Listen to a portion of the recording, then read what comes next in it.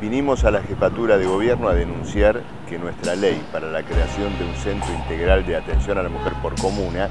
no se cumple. La ley fue votada en diciembre del 2015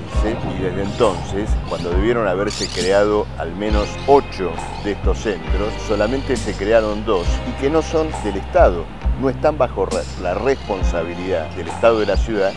sino que han sido tercerizados a ONGs privadas. No nos sorprende un Estado que crea las condiciones sociales sistemáticas y cotidianas